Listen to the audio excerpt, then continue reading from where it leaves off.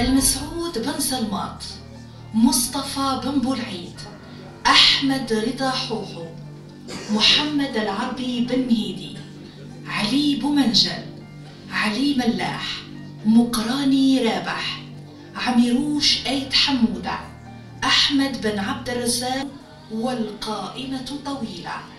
قافلة شهداء مارس. يحيي الشعب الجزائري في شهر مارس الشهداء ذكريات ثلة من أبطالنا الصناديد وقادة الثورة التحريرية المجيدة ورموزها الذين ارتوت دماؤهم أو ارتوت بدمائهم الطاهرة الزكية أرض الجزائر وخطوا ألمع سطور التاريخ وصنعوا أروع الملاحم البطولية في الفداء والتضحية في سبيل الله والوطن.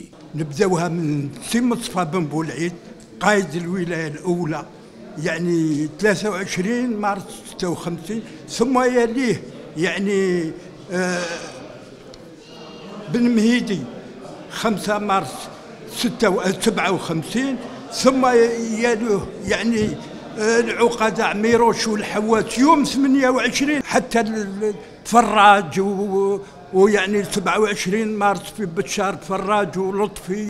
رسالة شهداء لا زالت متواصلة ورسالة شهداء لا زالت محفوظة بإذن الله. ما دام هناك أطفال ما دام هناك جيل صاعد يحفظ هذه الرسالة ويعني يعتني بها ويعلم أنه الجزائر أرض غالية. هذه الجزائر اللي رانا اليوم عايشين عليها في كل حرية هي جاءت آه، نضال تضحيات آه، جاءت بعد تضحية جسام من عند شهدائنا الأبرار. ربي يرحمهم.